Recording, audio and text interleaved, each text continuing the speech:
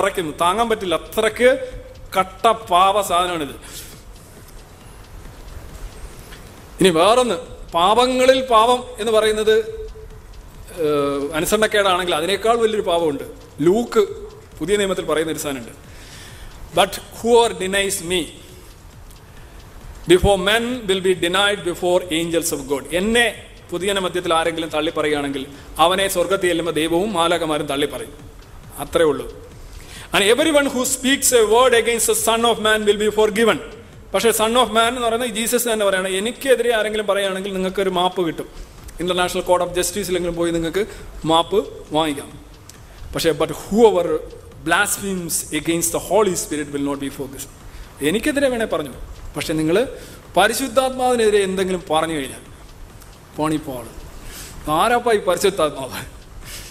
ഇതൊരു പ- ചില ആൾക്കാരില്ല പരിശുദ്ധാത്മ നീ പിന്നെ യേശുവിനെ പറഞ്ഞ് പിന്നെ സഹിക്കും. പക്ഷെ പരിശുദ്ധാത്മാവിനെ പറഞ്ഞു കഴിഞ്ഞാൽ ഭയങ്കര പ്രശ്നമാണ്. പോളണ്ടാണ്.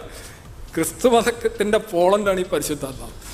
ആ പോളണ്ടുമായിട്ട് നടക്കുന്നവരാണ് അതിനകത്ത് ഏറ്റവും ഡേഞ്ചറസ് ടീമുകൾ പരിശുദ്ധാത്മാവിന് കൂടുതൽ പ്രാധാന്യം കൊടുക്കുന്ന ക്രിസ്തുമത ഡിനോമിനേഷനുകൾ നിങ്ങൾ ശ്രദ്ധിച്ചിട്ടുണ്ടോ? അൺസഹിക്കബിൾ ആയിരിക്കും. ഇത് എല്ലാവരും ഓരോന്നിനാ ഞാൻ പറഞ്ഞില്ല കാത്തലിക്സ് കൂടുതലും മേരിക്കാണ് പ്രാധാന്യം കൊടുക്കുന്നത്. മേരി മേരി മതമാണ്. അമ്മ. ഹോസ്പിറ്റലൊക്കെ പോയി കണ്ടില്ല അമ്മയ്ക്ക് വേണ്ടി അമ്മ അമ്മയുടെ അമ്മ പരിശുദ്ധയായ മദറിന്റെ മദറെ പുണ്യേശുവിന്റെ മാതാവ് എന്നൊക്കെ അവർ വിളിക്കുന്നത് അവർ അങ്ങനെയാ പോകുന്നത് അവരുടെ പ്രധാനപ്പെട്ട ഐറ്റം തന്നെ മേരിയാണ്. പക്ഷേ പരിശുദ്ധാത്മാവ് വിറയൽ തുള്ളൽ കരിഷ്മാറ്റിക്ക കണ്ടിട്ടുണ്ടല്ലോ? അത് ഭയങ്കരമാണ് ഇനി ജീസസ് യഥാർത്ഥത്തിൽ ഒരു വള്ളി പുള്ളി വര ഇതൊന്നും മാറ്റാതെ എല്ലാം പാലിക്കാൻ വന്ന ആളാണെന്നല്ലേ പറയുന്നത്? ജീസസ് യഥാർത്ഥത്തിൽ എത്ര കമാൻമെന്റ് പറയുന്നുണ്ട്? ഒരു പിടിയില്ല പത്ത് കമാൻമെന്റും അദ്ദേഹം പറയുന്നു എന്നാണ് നമ്മൾ ധരിക്കുക. പക്ഷെ കൃത്യമായിട്ട് പുള്ളി മാത്യു പത്തൊൻപത് പതിനേഴ് ഇരുപത്തൊന്നിൽ എന്തൊക്കെ ചെയ്യാം എന്തൊക്കെ ചെയ്തുകൂടാ എന്ന് ജീസസ് പറയുന്നു. എപ്പോഴാണ്? ഒരു പയ്യൻ വരികയാണ്. പയ്യൻ എന്ന് പറഞ്ഞാൽ നല്ല സമ്പത്തൊക്കെ ഉള്ള ഒരു പയ്യൻ വരികയാണ്. Would you ask me about what is good Jesus replied there is only one who is good if you want to end a life keep the commandments അപ്പോൾ ഈ പയ്യമെന്ന് ചോദിച്ചു ഞാൻ എങ്ങനെയാണ് ജീവിതം അടിപൊളിയായിട്ട് നന്നായിട്ട് കൊണ്ടുപോകണം എന്നാൽ പറഞ്ഞു നീ കമാൻമെന്റ്സ് എല്ലാം ഈ ശാസനങ്ങളെല്ലാം പാലിക്കുക. കീപ് ദ കമാൻമെന്റ്സ് എന്നേ പറയുന്നത് അപ്പോൾ അദ്ദേഹം ചോദിക്കുന്നു ആദ്യമായിട്ട് അവൻ ഇച്ചിരി ബോധമുണ്ടെന്ന് ചോദിക്കുന്നു വിച്ച് വൺസ് ഏതൊക്കെ കമാൻമെന്റ്സ് ആണ്? He enquired Jesus replied you shall not murder one you shall not commit adultery two you shall not steal three you shall not give false testimony four honour your father and mother five love your neighbour and yourself six ആറെണ്ണം പറഞ്ഞപ്പോഴത്തേക്ക് ജീസസിന്റെ അവിടെ charge അവിടെ തീരുക. അപ്പോൾ നമ്മൾ വിചാരിക്കും ഇതെല്ലാം ഓർത്ത് പറയാൻ ബുദ്ധിമുട്ടാണ്. നമുക്ക് ആയാലും ബുദ്ധിമുട്ടാണ്. ജീസസിനും പ്രത്യേകിച്ച് ഒരു മനുഷ്യനാണല്ലോ. നമുക്ക് പറയാം. അപ്പോൾ ആറെണ്ണം പറഞ്ഞു. അപ്പോൾ അവിടെ വെച്ച് ഈ പയ്യൻ ചോദിച്ചു all these I have kept ഞാൻ ഇതെല്ലാം ഞാൻ പാലിച്ച് ജീവിക്കുന്ന ആളാണ്. What to do what do I still lack ഞാൻ ഇനി എന്തെങ്കിലും ചെയ്യാനുണ്ടോ? ഇവിടെ വേണേൽ ജീസസിന്റെ ബാക്കി നാലെണ്ണം പറയാം. അല്ലേ? മറ്റേത് ഒറ്റയടിക്ക് പറഞ്ഞപ്പോൾ ആറെണ്ണമായി പോയതാന്ന് പറയാം. പക്ഷെ ഇവിടെ വേണേൽ പറയാം. അപ്പോൾ അവിടെ ജീസസ് പറയുന്നില്ല നാലെണ്ണം പറയുന്നില്ല. അതിന് അദ്ദേഹം ഒരെണ്ണം കൂടിയാണ് പറയുന്നത്. എങ്ങനെയാണ് പറയുന്നത്? If you want to be perfect നിനക്ക് ഇനി പെർഫെക്റ്റ് ആവണമെങ്കിൽ എല്ലാത്തിൽ നിന്നും ശരിയാകണമെങ്കിൽ എന്ത് ചെയ്യണം? Go and sell your possessions പോയി നിന്റെ മൊത്തം സർവ സ്ഥാവര ജംഗമ വസ്തുക്കളും വിറ്റ് കളയാം and give to poor people പാവപ്പെട്ടവർക്ക് വിതരണം ചെയ്യാം. And you will have treasure in heaven then come follow me അപ്പോഴത്തേക്ക് നിനക്ക് സ്വർഗത്തെ സീറ്റ് ഉറപ്പിക്കും. എന്നിട്ട് എന്റെ പുറകെ വരിക. അങ്ങനെയാണ് ക്രിസ്ത്യാനികൾ മുഴുവൻ ഇന്നത്തെ കാലത്തും എന്നത്തെ കാലത്തും അവരുടെ കയ്യിലിരിക്കുന്ന സമ്പത്ത് മുഴുവൻ വിറ്റഴിച്ച് പാവങ്ങൾക്ക് വിതരണം ചെയ്ത് അങ്ങനെ സ്വർഗത്തെ സീറ്റ് ഉറപ്പിച്ചുകൊണ്ടിരിക്കുന്നത്. ഹാലെ ലൂയ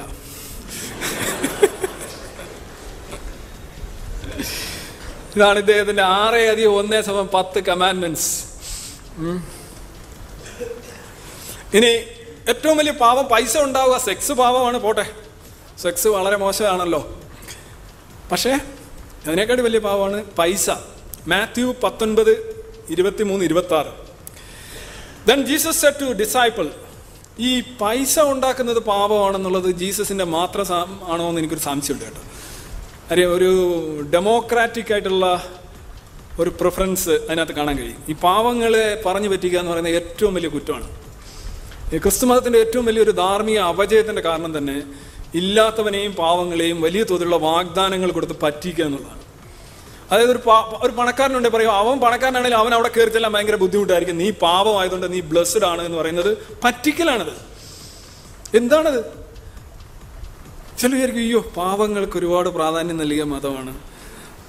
എന്താ യഥാർത്ഥത്തിൽ അവിടെ സംഭവിക്കുന്നത് നമ്മൾ നോക്കുമ്പോൾ ഒരു അവർക്ക് ഒരുപാട് സമ്പത്ത്. ആയിക്കോട്ടെ അവൻ അവിടെ ചെല്ലുമ്പോൾ ഒന്നും കിട്ടത്തില്ല. എവിടെ ചെല്ലുമ്പോഴാ? നമുക്ക് പൈസ വേണ്ട ഇവിടെ ഇവിടെ അല്ല ചെലവഴിക്കാൻ പറ്റും പൈസ. സമ്പത്ത് വേണ്ട ഇവിടെയാണ് ഇവിടെയാണ് ജീവിക്കുന്നത് എന്നിട്ട് പറയാ ഈ പണക്കാരന് അവിടെ ചെല്ലുമ്പോഴേ ഈ സൂചിയുടെ കുഴി ഇടയ്ക്കൂടെ ഒട്ടകത്തിന് കയറാൻ എന്തുമാത്രം പ്രയാസമായിരിക്കും അത്രയും പ്രയാസമായിരിക്കും വലിയ വ്യവസായികളായിട്ടുള്ള നിങ്ങൾക്കൊക്കെ അനിലൊക്കെ ഓർത്തോളൂ. പക്ഷെ പാവപ്പെട്ടവനാണെങ്കിൽ നോ പ്രോബ്ലം അടിപൊളി. നിങ്ങൾ ശ്രദ്ധിച്ചിട്ടുണ്ടോ?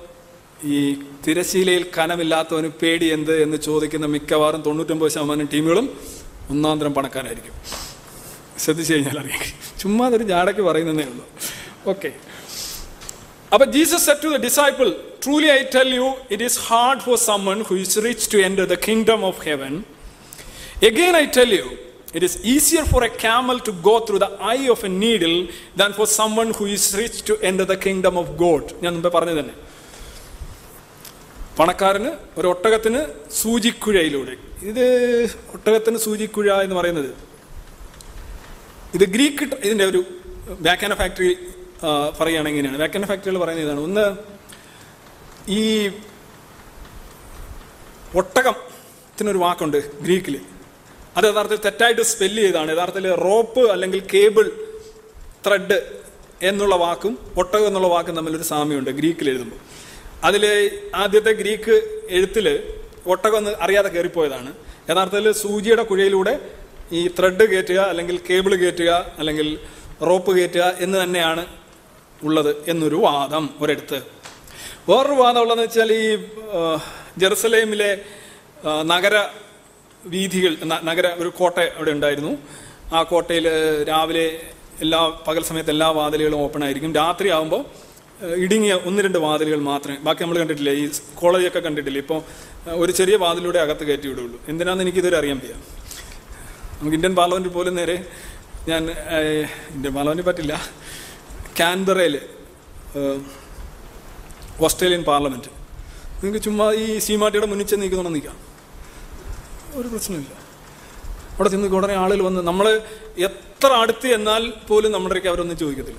അത് പോട്ടെ അവർ ആത്മവിശ്വാസം ഒരു ജനത എന്ന നിലയിൽ അവർ പങ്കിടുന്ന വാല്യൂസ് അത് ഞാൻ പറഞ്ഞതേ ഉള്ളൂ. പക്ഷേ അപ്പം രാത്രിയിൽ ഈ- ഒട്ടകപ്പുറത്ത് വസ്തുക്കളൊക്കെ ആയിട്ട് വരുന്നവർക്ക് കയറാനായിട്ടാണ് ഈ കൊച്ചു വാതിൽ. അതൊരു കൊച്ചു വാതിലാണ്. ആ വാതിലൂടെ വേണം ഒട്ടകങ്ങൾ രാത്രി സമയങ്ങളിൽ കയറാൻ പകൽ സമയങ്ങളാണെങ്കിൽ മെയിൻ ഗേറ്റിലൂടെ കടങ്ങാൻ. ആ ഒരു വാതിലിനെ കുറിച്ചാണ് ജീസസ് ഇവിടെ പറയുന്നത് എന്ന് പറയുന്നവരുണ്ട്. പക്ഷേ ആ വാതിലിനെ കുറിച്ചുള്ള പരാമർശം പത്താം സെഞ്ചുറിയിലാണ് വന്നത് എന്ന് പറയുന്ന വേറെ ടീമുകളുണ്ട്. എന്തായാലും പണം ഉണ്ടെങ്കിൽ നീ തെണ്ടിപ്പോയി എന്ന് തന്നെയാണ് ഇതിന്റെ അർത്ഥം. അതുകൊണ്ടാണ് ഇത് ക്രിസ്ത്യാനിറ്റികൾ വളരെ ശ്രദ്ധിച്ചാണ് അവരത് പോകുന്നത് പണം.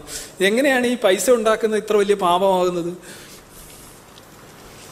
പൈസ മോശമായ രീതിയിൽ പൈസ ഉണ്ടാക്കുന്ന പാപമാണെന്ന് പറഞ്ഞാൽ അംഗീകരിക്കാം അല്ലേ?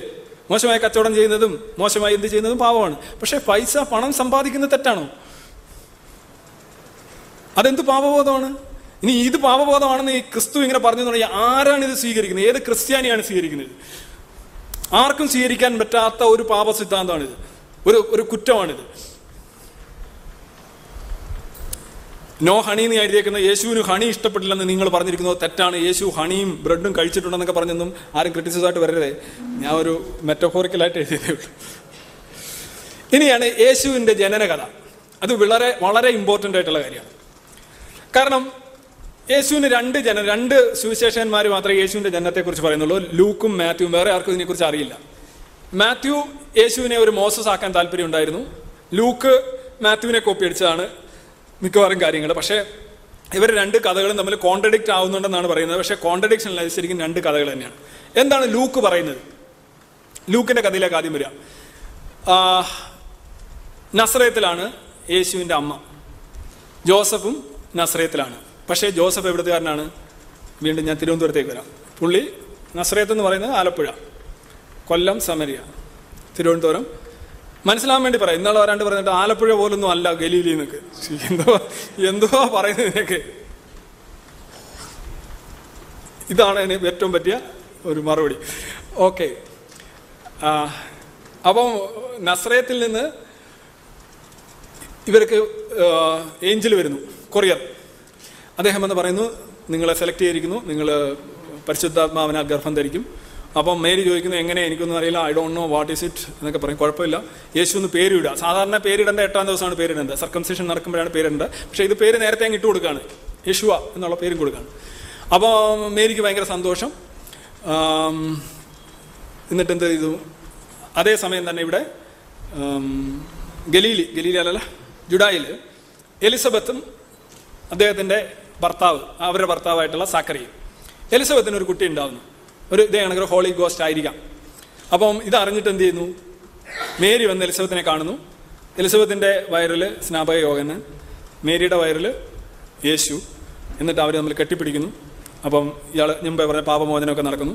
എന്നിട്ട് എന്ത് ചെയ്യുന്നു? മേരി വീണ്ടും റിട്ടേൺ അടിക്കുന്നു. അങ്ങോട്ട് നസ്രയത്തിലേക്ക് നസ്രയത്തിലേക്ക് പോവുക. നൂറ്റമ്പത് കിലോമീറ്റർ ഒന്ന് പോവുക. എന്നിട്ട് എന്ത് ചെയ്യുന്നു? കുറേ കഴിഞ്ഞിട്ട് ഇവിടെ എലിസബത്ത് പ്രസവിക്കുന്നുണ്ട് എന്ന് കണക്ക് കൂട്ടുക. മേരിയും പ്രസവിക്കേണ്ട സമയമാവുന്നു. അപ്പോൾ മേരി പ്രസവിക്കേണ്ട സമയമാകുമ്പോഴാണ് പറയുന്നത് ഈ അഗസ്റ്റസ് സീസറിന്റെ കാലഘട്ടത്തിൽ ഒരു ആഗോള റോമ സാമ്രാജ്യത്തിലേക്ക് ഒരു സെൻസസ് ടാക്സ് പർപ്പസിനായിട്ട് എടുക്കുന്നു. അന്ന് സിറിയൻ ഗവർണറായിട്ടുള്ള കൊറീനിയസ് എന്ന് പറയുന്ന ഒരു സിറിയൻ ഗവർണറാണ് ഉള്ളത്. അദ്ദേഹത്തിന്റെ കീഴിലാണ് ജുഡായി വരുന്നത്. അപ്പോൾ ജുഡായിലും അതിനോടനുബന്ധിച്ച് ഒരു സെൻസസ് എടുക്കുന്നു. ഈ സെൻസസിൽ പങ്കെടുക്കാനായിട്ട് ഈ സെൻസസ് ജുഡായിൽ നടക്കുന്ന സെൻസസിൽ പങ്കെടുക്കാനായിട്ട് ജുഡായക്കാരനായിട്ട് ഉള്ള ജോസഫ് ഇപ്പോൾ താമസിക്കുന്നത് നസ്രയത്തിലാണ് മനസ്സിലായി? ജുഡായക്കാരനാണെന്ന് പറയാനായിട്ട് ദാവീദിന്റെ വംശപരമ്പരയിൽപ്പെട്ട ആളാണ് ഇയാൾ എന്നെങ്കിൽ മാത്രമേ പഴയ നിയമം വെച്ച് ഒപ്പിക്കാൻ പറ്റൂ. ദാവീദിന്റെ വംശപരമ്പരയിൽപ്പെട്ടതായിരിക്കണം യേശു എന്നുള്ളതാണ്. മിശിക അങ്ങനെ ആയിരിക്കണം എന്നാണ് തിയറി. അപ്പൊ ഇദ്ദേഹം എന്ത് ചെയ്യുന്നു? ഗലീലിയിൽ നിന്ന് ഇദ്ദേഹം ജുഡായയിലേക്ക് ഭാര്യയും കുട്ടിയും കൊണ്ട് പോകുന്നു. ഒരു കഴുതപ്പുറത്താണ് പോകുന്നത്. പൂർണ ഗർഭിണിയാണ്. ജുഡായിലെത്തുന്നു നൂറ്റി അമ്പത് കിലോമീറ്റർ യാത്ര ചെയ്തു. എന്തിനാ വരുന്നതെന്നറിയോ ടാക്സിന്റെ പട്ടികയിൽ സെൻസസിന് പേര് കൊടുക്കാൻ വരികയാണ്. എത്ര വലിയ ലോഫുൾ ആയിട്ടുള്ള ആൾ നൂറ്റമ്പത് കിലോമീറ്റർ ഗർഭിണിയായിട്ടുള്ള വൈഫിനെ കൊണ്ട് സഞ്ചരിക്കുക. ഇത് എന്തിനാണ് വരുന്നത്? ആയിരം വർഷം മുന്നേ ജീവിച്ചിരുന്ന ആൻസസ്റ്റർ ഇപ്പം എന്റെ നിങ്ങളുടെയൊക്കെ പറയുകയാണ് നിങ്ങളുടെ ആൻസസ്റ്ററൽ ഹൗസിൽ അല്ലെ അവിടെ പോയി സ്ഥലത്ത് പോയി പേര് കൊടുക്കണം. നിങ്ങളുടെ എവിടെയാണ് മുൻഗാമികൾ ജീവിച്ചത് അവിടെ പോയി പേര് കൊടുക്കണം എന്ന് പറഞ്ഞാൽ നിങ്ങൾക്ക് എത്ര പേരെ അറിയാം? അപ്പനെ അറിയാൻ പറ്റും അപ്പൂപ്പനെ അറിയാൻ പറ്റും. അതിനപ്പുറം ഇപ്പൊ നിങ്ങളുടെയൊക്കെ ഇവിടെ തിരുവനന്തപുരത്തുള്ളവരെല്ലാം ഒരു സെൻസസ് വരികയാണ് ആയിരം വർഷത്തിന് മുമ്പുള്ള ആൻസസ്റ്റർ ആരായിരിക്കും? ചേരമാൻ പെരുമാറും? എവിടെ ഏത് സ്ഥലം? നമ്മൾ അന്ന് പറയുന്ന സ്ഥലങ്ങളൊക്കെ കാടായിരിക്കും. പക്ഷെ ജോസഫും മേരിയും കൂടെ ആയിരം വർഷത്തിന് മുമ്പ് ജീവിച്ചിരുന്ന ദാവീദിന്റെ കണക്കം പറഞ്ഞുകൊണ്ട് ഈ കഴുതപ്പുറത്ത് പൂർണ ഗർഭിണിയായിട്ട് യാത്ര ചെയ്യാണ്. കഥ പറഞ്ഞ് ഒപ്പിക്കുന്ന രീതി കണ്ടില്ലേ? എന്നിട്ട് അവിടെ ചെല്ലുന്നു അവിടെ അവർക്ക് മുറിയൊന്നും കിട്ടുന്നില്ല ഒരു ഇന്നിൽ മെയിഞ്ചർ ഒരു ഒരു പുൽത്തകടിയിൽ കാലിത്തൊഴുത്തിൽ പ്രസവിക്കുന്നു. അപ്പോൾ ഷെപ്പേർഡ്സ് വരുന്നു. എന്നിട്ട് അവർ കുട്ടി ജനിക്കുന്നു. കുട്ടിക്ക് എട്ടാം ദിവസം ദേവാലയത്തിൽ കൊണ്ടുവന്ന് സക്കംസിഷൻ നടത്തുന്നു. എന്നിട്ട് നേരെ നസറിയത്തിലേക്ക് തിരിച്ചു പോകുന്നു. ഇതാണ് ഒരു കഥ. മാത്യു എന്താ ചെയ്യുന്നത് മാത്യു തുടങ്ങുന്നത് തന്നെ ജോസഫും മേരിയും ജുഡായിൽ തന്നെ ബദ്ലഹേമിൽ തന്നെയാണ്. കാര്യം ബദ്ലഹേമിൽ തന്നെ കൊണ്ടുവന്ന് പ്രസവിപ്പിക്കണമായിരുന്നു. അതിനാണ് ഈ സെൻസസും പറഞ്ഞ് ലൂക്ക് ഇവിടെ വന്നത്. പക്ഷെ മാത്യു തുടങ്ങുന്നത് ഇങ്ങനെ തന്നെയാണ്. അങ്ങനെ വരുമ്പോൾ എന്ത് ചെയ്യും? അവിടെ പ്രസവിക്കുന്നു. പ്രസവിക്കുമ്പോൾ മജയ് ഉണ്ടാവുന്നു. അതായത് wise men of the East. ഇവർ ഇദ്ദേഹത്തെ കാണാനായിട്ട് വരുന്നു. അപ്പോൾ ഹെറോദ് രാജാവ് ഈ മജയ് അല്ലെങ്കിൽ വൈസ്മെന്നെ കാണുന്നു. അപ്പോൾ എവിടെ പോകാമെന്ന് ചോദിക്കുന്നു. അപ്പോൾ പറയുന്നു ജൂതന്മാരുടെ രാജാവ് രക്ഷകൻ മിശുകയൊക്കെ പറഞ്ഞിരിക്കുന്നു കാണാൻ പോവാണെന്ന് പറയുന്നു. അപ്പോൾ പറയുന്നു നിങ്ങൾ പോയി കണ്ടിട്ട് തിരിച്ചു വരുമ്പോൾ എന്നോട് വിവരം പറയണമെന്ന് പറയുന്നു. ഇവർ പോയി കാണുന്നു. കാണുമ്പോഴത്തേക്ക് ജോസഫിനാണ് ഏഞ്ചൽ പ്രത്യക്ഷപ്പെടുന്നത് മാത്യുവിന്റെ കാര്യത്തിൽ. ജോസഫിന്റെ ആദ്യമേ എന്ന് പറയുന്നു നിന്റെ ഭാര്യയ്ക്ക് ഒരു ഒരു കുട്ടി ഉണ്ടാവും. പരിശുദ്ധാത്മാവിൽ ഒരു കുട്ടി ഉണ്ടാവും. അതുകൊണ്ട് നീ ഒന്നും മിണ്ടരുത്. ഇതൊക്കെ ഉള്ള കാര്യങ്ങളാണ്. ഇതൊക്കെ വേണ്ട കാര്യങ്ങളാണ്. എന്ന് പറഞ്ഞ് അദ്ദേഹത്തെ മ്യൂട്ടാക്കുന്നുണ്ട് അതുപോലെ തന്നെ കുട്ടി പിറക്കുമ്പോൾ തന്നെ ജോസഫിന്റെക്ക് പറയുന്നുണ്ട് ഇവിടെ നിൽക്കരുത് ഈ ഭാര്യയും കൊണ്ട് കുട്ടിയും കൊണ്ട് ഈജിപ്തിലേക്ക് പോകാൻ അടുത്ത വിസയൊക്കെ അടിച്ച് കൊടുക്കുകയാണ്. അതിന് കാരണം എന്താ? ഹെറോദ് കുട്ടികളെ അപ്പം ഹെറോദ് എന്താ ചെയ്യുന്നത് വെച്ച് കഴിഞ്ഞാൽ ഈ വൈസ്മെൻ തിരിച്ചു പോകുന്ന വഴി ഹെറോദിനെ കാണത്തില്ല. അപ്പോൾ അദ്ദേഹം വർഷം കണക്ക് കൂട്ടി ഇപ്പം ജനിച്ചിട്ട് ഇപ്പോൾ രണ്ട് വർഷമായി കാണും അപ്പോൾ രണ്ട് വയസ്സിന് താഴെയുള്ള എല്ലാ കുട്ടികളെയും കൊല്ലാൻ ഉത്തരവ് കൊടുക്കണം. ആരും അറിഞ്ഞിട്ടില്ല കേട്ടോ. ഈ മാത്യു അല്ലാതെ ആരും അറിഞ്ഞിട്ടില്ല ഈ കേസ്. ചരിത്രകാരന്മാരോ വേറെ ഗോസ്പിൾസ് ഒന്നും അറിയില്ല. അദ്ദേഹം പറയണം. എന്നിട്ട് ഇദ്ദേഹം എന്ത് ചെയ്യുന്നു? ബദ്ലേമയിൽ നിന്ന് മേരിയേയും കൊണ്ട് ജോസഫ് ഈജിപ്തിലേക്ക് പോകുന്നു. നാൽപ്പത് വർഷം താണ്ടിയ ദൂരം പോകുന്നു. അവിടെ പോയി സെറ്റിൽ ചെയ്യുന്നു. അവിടെ പോയി സെറ്റിൽ ചെയ്ത് ഇങ്ങനെ വളർന്നു വരുമ്പോൾ വീണ്ടും ഏഞ്ചൽ എന്ന് പറയുന്നു ആ ഹെറോദ് എന്ന് പറയുന്ന ഒരാൾ മരിച്ചു അതുകൊണ്ട് തിരിച്ചു പോരെന്ന് പറയുന്നു. അങ്ങനെ തിരിച്ച് വീണ്ടും ബത്ലഹേമിലേക്ക് വരാൻ ഒരുങ്ങുമ്പോൾ വീണ്ടും പറയുന്നു ഹെറോദ് മരിച്ചെങ്കിൽ ഹെറോദിന്റെ മോൻ അവിടെയുണ്ട് അവൻ ഇതിനേക്കാൾ തൊഴുമ്പാണ് അതുകൊണ്ട് നിങ്ങൾ നേരെ നസ്രയത്തിലേക്ക് പോയിക്കൊള്ളാൻ പറഞ്ഞു.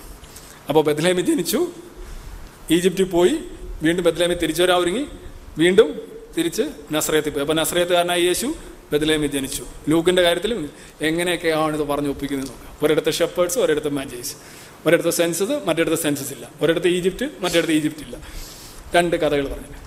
ഇത് രണ്ട് കഥകളാണെന്ന് മാത്രമല്ല പരസ്പരം കോൺട്രഡിക്റ്റ് ചെയ്യുന്നത് മാത്രമല്ല ഇതിനകത്ത് യാതൊരുവിധ ആ, ഇതും ഇല്ല എന്നുള്ളതാണ്. ദി സ്റ്റോറി ഓഫ് സെൻസസ് എന്ന് പറയുന്നത് ഇൻക്രെഡിബിൾ ആണ്. കാര്യം ഹെറോഡ് മരിക്കുന്നത് നാലാം നൂറ്റാണ്ടിലാണ്. സി നൂലാം നാലാം നൂറ്റാണ്ടിലാണ്. കൊറീനിയസിന്റെ സെൻസസ് എന്ന് പറഞ്ഞാൽ ആറാം നൂറ്റാണ്ട് ആറും ഏഴ് നൂറ്റാണ്ടാണ്. അപ്പോൾ ആ സെൻസസിന്റെ ഹിസ്റ്റോറിക്കലായിട്ടുള്ള കാര്യം പോലും ശരിയല്ല. പിന്നെ അഗസ്റ്റസ് സീസറിന്റെ കാര്യത്തിലും ഒരുപാട് കാര്യങ്ങളുണ്ട്. അഗസ്റ്റസ് സീസർ ആ സമയത്ത് സെൻസസ് പറഞ്ഞോ എന്നുള്ള കാര്യത്തിൽ സംശയമുണ്ട്. പക്ഷേ കൊറീനിയസ് പറഞ്ഞു എന്ന് പറയുന്നുണ്ട്. പക്ഷേ അത് ജുഡായിക്ക് മാത്രമാണ് ബാധകം. ജുഡാ ഇവർ ഗലീലിയിലാണ് ഉള്ളത് ഗലീലിയിലുള്ളവർക്ക് ജുഡായിലെ സെൻസസിൽ പോകണമെന്ന് ചോദിച്ചു കഴിഞ്ഞാൽ ഞങ്ങളുടെ ആയിരം വർഷത്തിന് മുമ്പുള്ള പിതാമഹൻ അവിടെ ആയിരുന്നു എന്നൊക്കെ പറഞ്ഞ് ഒപ്പിക്കാവുന്നല്ലാതെ ഇതിനെക്കുറിച്ചൊരു പറയുകയാണെങ്കിൽ ഒരുപാട് കാര്യങ്ങളുണ്ട്. ഞാനതെല്ലാം എഴുതിയിട്ടുണ്ട്. അതുപോലെ തന്നെ December twenty five the fact that sheep were in the fields at that time makes it unlikely the date was selected simply to coincide the popular festivities of marked winter solstice winter സോൾസ്റ്റേസിനെ mark ചെയ്യാനായിട്ടുള്ള ഒരു ദിവസമാണ് December ഇരുപത്തഞ്ച്. ഇപ്പോൾ അതൊരു December ഇരുപത്തി ഒന്നോ ഇരുപത്തിരണ്ടോ ആയിട്ട് മാറിയിട്ടുണ്ട് because of the procession of the പോളിന്റെ പ്രൊസഷൻ കാരണം അത് മാറിയിട്ടുണ്ട്. ഞാൻ സോൾസ്റ്റേഴ്സിന് കഴിഞ്ഞ പരിപാടിയിൽ സമദിനം എന്ന് പറഞ്ഞത് പെട്ടെന്ന് വായു വന്ന് വേണം സമദിനമല്ല സോൾസ്റ്റേഴ്സ് എന്ന് പറഞ്ഞു കഴിഞ്ഞാൽ അയനം കഴിഞ്ഞ് എക്സ്ട്രീം പോയിന്റ് ആണ്. നടക്കു വരുമ്പോഴാണ് സമദിന ധാരാത്രം വരുന്നത്. വീണ്ടും അയനം. അയനം അറിയാമല്ലോ. ഇരുപത്തിമൂന്നര ഡിഗ്രി ചരിവ് കൊണ്ട് നമുക്ക് അയനം തോന്നിക്കുകയാണ് the year of birth is not known either the year was calculated six century by a monk Dionysius Exiguus and who fixed A D one as seven hundred and fifty four A U C anno orbis conditi year after the founding city of Rome ഇത് യഥാർത്ഥത്തിൽ A D B C ആറിലാണ് A D ഒന്നായിട്ട് Dionysius Exiguus എന്ന് പറയുന്ന monk Roman monk Christian monk ഇദ്ദേഹം കണക്കുണ്ടാക്കുന്നു. അത് എഴു റോമ സാമ്രാജ്യം സ്ഥാപിച്ചിട്ട് എഴുന്നൂറ്റി അമ്പത്തിനാല് വർഷം എന്നുള്ള കണക്കിലാണ്. അല്ലാതെ എ ഡിയും ബി സിയുമായിട്ട് ക്രിസ്തുവും ക്രിസ്തുവിന്റെ ജനനവുമായിട്ടൊന്നും ഒരു ബന്ധവുമില്ല. അത് ഞാൻ പലയിടത്തും പറഞ്ഞിട്ടുള്ളതാണ്. കൂടുതൽ വിശദീകരിക്കുന്നില്ല. പിന്നെ അതുപോലെ തന്നെ Luke and Matthew knew that Jesus was from Nazareth but they both wanted him to be born in Bethlehem and connected with David created script suit the claims ഇശയുടെ suffering servant എന്ന് പറയുന്ന ഒരു ഒരു പാട്ടിന്റെ അതിൽ നിന്നാണ് ഇപ്പോൾ ഈ ഫുൾഫിൽമെന്റ് ഉണ്ട് കുറേയൊക്കെ. അതായത് ഞാൻ ആദ്യം പറഞ്ഞു മ്യൂട്ടിംഗ് പറ്റേണൽ ഫിഗേഴ്സ് ആദ്യം you will be silent and unable to speak until the day of these things take place because you did not believe my words Luke സക്കറിയോട് angel പറയുന്നതാണ് ഇത് സംഭവിക്കുന്നവരെ നിനക്ക് ശബ്ദം ഉണ്ടാവില്ല കാരണം ഞാൻ പറഞ്ഞ നീ വിശ്വസിച്ചില്ല എന്ന് പറഞ്ഞാൽ ഒന്നും മിണ്ടാതിരിക്കാന്നുള്ള വാപത്തിൽ പിടിക്കലാണ്. പിന്നെ ജോസഫിന് കൊടുക്കുന്നു Joseph you son of David fear not to take your you Mary your wife for that which is conceived in her is a Holy Ghost and shall bring forth the son and you shall call his name Jesus for he shall save his people from their sins അതുകൊണ്ട് ജോസഫിനും ചെന്ന് പറയുകയാണ് നീ ബഹളമൊന്നും ഉണ്ടാക്കരുത് ഇത് correct ഏർപ്പാടാണ് എന്ന് പറയുന്നത് യേശു ഒരിക്കലും പിതാവിനെ ഫാദർ എന്നോ മാതാവിനെ മദർ എന്നോ വിളിക്കുന്നില്ല എന്ന് നിങ്ങൾക്ക് അറിയാം. യേശു നസ്രയത്തുകാരനാണോ നസ്രയത്ത് എന്നുള്ളൊരു പട്ടണം തന്നെ ഇല്ലായിരുന്നു എന്നുള്ളതാണ് പറയപ്പെടുന്നത്. ഇപ്പോൾ കുറച്ച് ആർക്കിയോളജി ഇപ്പോൾ ബാർട്ട് എർമാനൊക്കെ പറയുന്നുണ്ട് ആർക്കിയോളജിക്കൽ സർവേ നടന്ന് അങ്ങനെ പട്ടണം കണ്ടുപിടിച്ചു. ഇങ്ങനെയൊക്കെ പറയുന്നുണ്ട്. അതും പറയാനാണെങ്കിൽ കുറേ ഉണ്ട്. പക്ഷേ യഥാർത്ഥത്തിൽ അന്നത്തെ നസ്രയത്ത് എന്ന് പറയുന്നൊരു പട്ടണം ഇല്ല. പക്ഷേ ഇതിനകത്ത് ഞാൻ പറയാൻ ഉദ്ദേശിക്കുന്നത് Jesus of Nazareth is first used in Bible by Philip John ജോണിന്റെ സുവിശേഷമാണ്. After being called Jesus to follow him told Nathaniel we have found him of whom Moses in the law also the prophet wrote Jesus of Nazareth the son of Joseph John one forty five Nathaniel response can anything good come from Nazareth ഞങ്ങൾ നസ്രയത്തുകാരനായ യേശുവിനെ കണ്ടു എന്ന് Philip പറയുമ്പോൾ ജോണിന്റെ സുവിശേഷത്തിൽ നദാനിയലിനോടാണ് പറയുന്നത്. Nathaniel ചോദിക്കുന്നുണ്ട് can anything good come from Nazareth നസ്രയത്തിൽ നിന്ന് അങ്ങനെ വായിക്കൊള്ളാവുന്ന എന്തെങ്കിലും വരാൻ സാധ്യതയുണ്ടോ?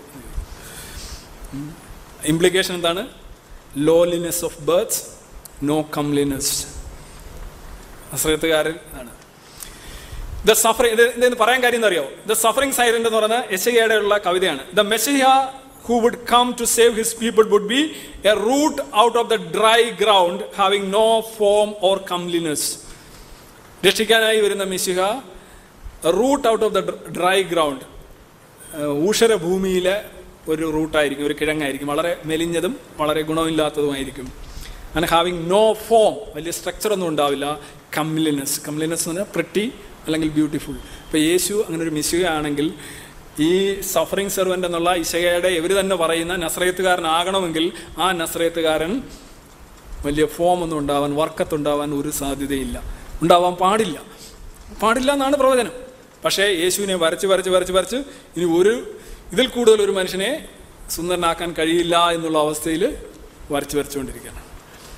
ഈവൻ ചെകുവരെയൊക്കെ യേശുവിനെ പോലെ സുന്ദരനായ മനുഷ്യൻ എന്നാണ് പറയുന്നത്. എന്നാണ് പറയുന്നത്? നോ കംലിനെസ് എന്നാണ് പറയുന്നത്.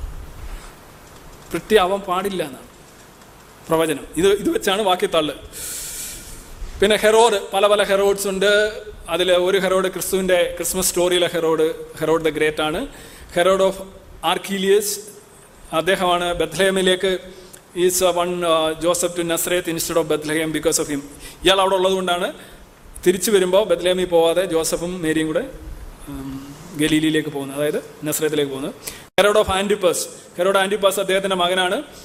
അവൻ ജോൺ ബാപ്റ്റിസ്റ്റിനെ കൊല്ലുന്നു. ഹെറോദിയാസ് എന്ന് പറയുന്ന രാജ്ഞിയെ സ്വന്തമാക്കാനായിട്ടുള്ള അമിത വ്യഗ്രത കാണിക്കുമ്പോൾ ജോൺ ചോദ്യം ചെയ്യുന്നു ജോണിനെ കൊല്ലുന്നു. Herod Philip ruled area north and east of Galilee Herod of Agrippa then Herod of Agrippa two കുറേ ഹെറോഡ് ഉണ്ട്. അതിൽ ക്രിസ്മസ് ഹെറോഡ് എന്ന് പറയുന്നത് ഹെറോഡ് ദ ഗ്രേറ്റ് ആണ്. Time and space out of joint ഈ സെൻസസ് നടക്കാൻ ഒരു സാധ്യതയില്ല എന്നുള്ളതാണ് ഞാൻ വിശദീകരിക്കുന്നില്ല. ഇത് സമയം കിട്ടുകയാണെങ്കിൽ നോക്കാം. ഒന്നാലൊന്ന് വായിച്ചേക്കാം. No general consensus during the time of Augustus a census during the Augustus but on during Vespasian അതിനെക്കുറിച്ച് പറയുന്നുണ്ട്. Judea and Samaria were under Roman rule Galilee verse and other areas remain autonomous അതൊക്കെ ഞാൻ പറഞ്ഞാണ്. Fulfilling business യേശുവിന്റെ ജന്മം എങ്ങനെയാണ് ഉണ്ടാക്കിയിരിക്കുന്നത് എന്ന് ചോദിച്ചു കഴിഞ്ഞാൽ പഴയ നിയമത്തിലെ പ്രവചനങ്ങളും സാംസ് അതേപോലെയുള്ള